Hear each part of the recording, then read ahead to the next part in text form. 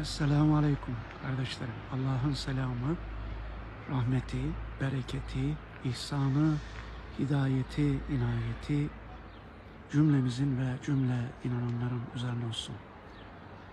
Bartın İmam Hatip Lisesi ve Nene Hatun İmam Hatip Lisesi'nde öğretmenlik staj uygulamalarımız devam ediyor. Bayram öncesi öğrencilerimizi ve hocalarını ve idarecilerimizi ziyaret amacıyla bugün her iki tatbikat okuluna da uğradık. Elhamdülillah öğrencilerimiz bir hakkın görevlerini yapmaya gayret ederken hocalarımız da elinden geldiğince bu öğrencilerimize rehberlik yapmaya gayret sarf etmektedirler. Biz öncelikle Bartın Anadolu İmam Hatip Lisesi rehber öğretmenimiz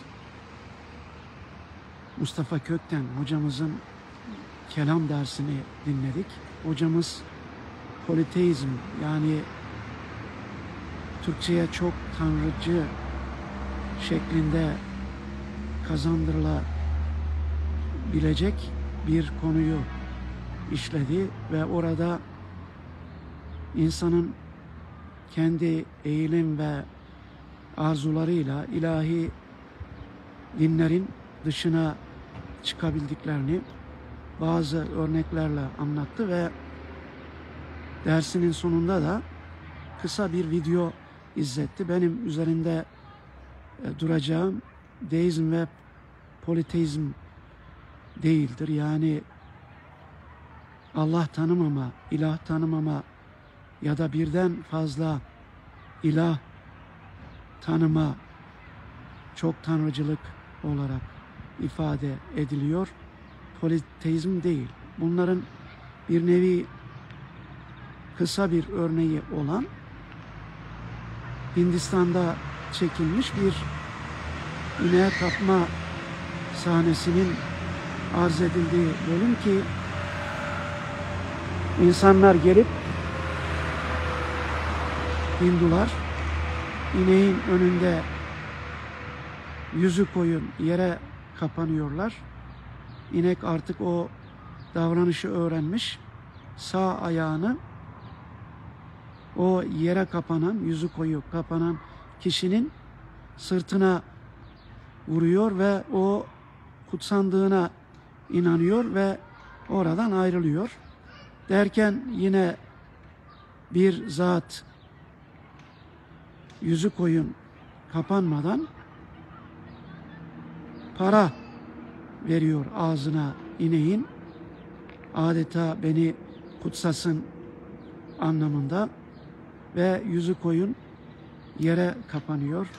Allahu Teala'nın 124 bin peygamber gönderdiği li kulli kavmin hayat.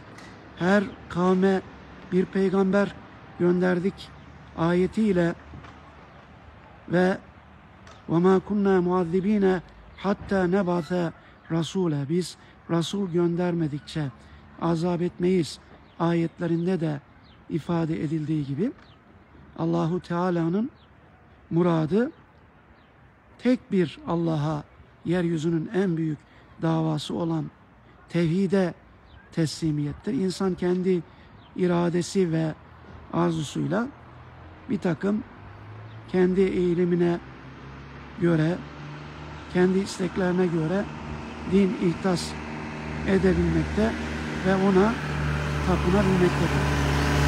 Diğer hocamızın üzerinde durduğu Nene Hatun İmam Hatip Lisesi tefsir dersine katıldık. O hocamız da geçen hafta Allah, kainatta Allah ve bu haftada insan unsurunu inceledi. Biz geçen haftaki derse katılamadık. Bu haftaki katıldığımız dersteki konusunu özetlemek istiyorum. İnsan, insanın yaratılışına hocamız yer verdi. En önce Alak suresinin 1 ve 5. ayetlerine yer verdi. Onun mealine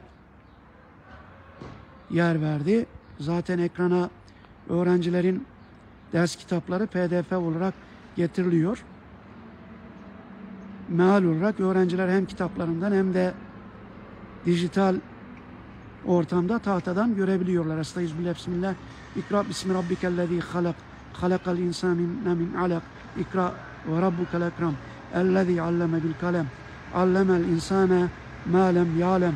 Ayetlerini hocamız mealen zikretti ve bu ayetlerin Hazreti Peygamber aleyhissalatü vesselama ilk gelen Hiranur mağarasındaki ayet olduğunu ve orada insanın embriyo alak şeklinde ifade ediliyor.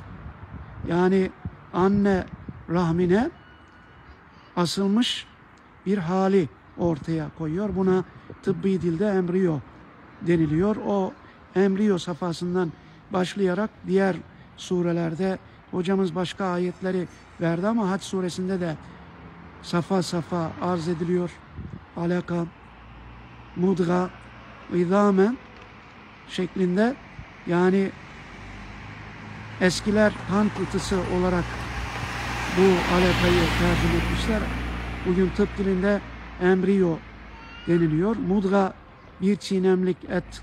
İzame yani artık kemikler giydirilmiş bir suret verilmiş. Ve savvarakum fahsana suvarakum ayetiyle bir suret verilmiş durum. O ayetlere hocamız mealen dikkat çekti. İnsanın yine en güzel şekilde yaratıldığını ifade eden Tin suresindeki ayetlere dikkat çekti. Estağfirullah bismillah. Lekad halaknal insane fi ahsani takvim. Thumma radatnahu esfele safilin. İnsan en güzel şekilde yaratıldı ancak onun ilahi iradenin dışına çıktığında Allahu Teala'nın Kur'an'da ve diğer kitaplarda peygamberler vasıtasıyla bildirdiği haram ve helal dengesini bozduğunda ثُمَّ رَدَتْنَاهُ esfele safilin yani aşağıların aşağısına da düşebildiğini Allahu Teala Tin suresi 3 ve 4. ayetlerde ifade ediyor. Estağfirullah bismillah. Ve tini ve zeytun ve turi sinine ve hâzel beledil emin. Lekad halaknel insane fi ahseni takvim. Allahu Teala 3. ayette ve 4. ayette insanı en güzel şekilde yarattığını ancak o insanın kendi hal ve hareketleriyle, davranışlarıyla aşağılardan aşağıya düştüğünü ifade ediyor.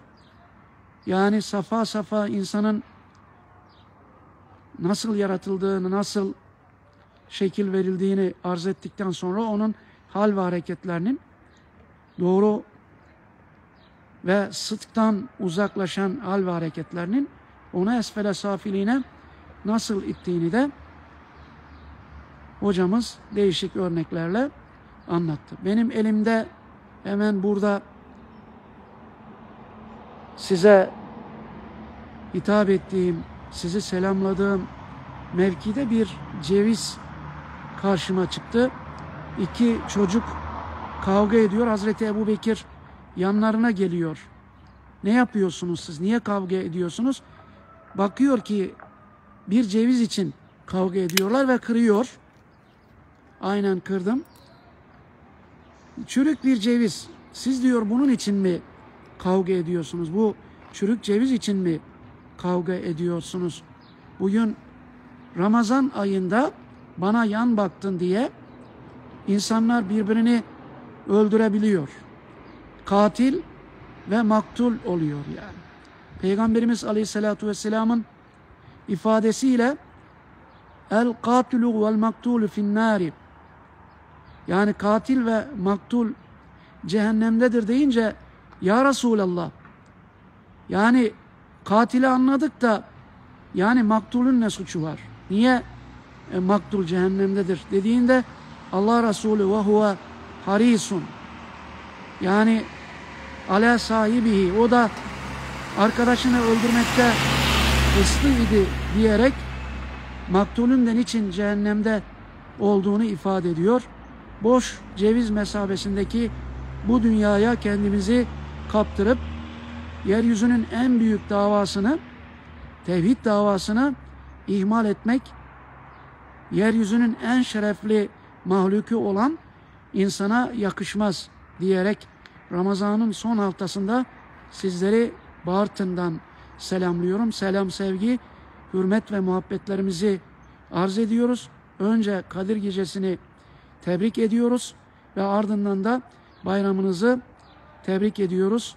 Rabbimiz kalan günlerimizi geçen günlerimizden daha yümünlü, bereketli ve daha çok ibadet, taat ve ezkarla, infakla geçirmeyi cümlemize ve cümle inananlara nasibi müyesser eylesin. Kalın sağlıcakla. Vesselamu aleyküm ve rahmetullahi ve berekatuhu.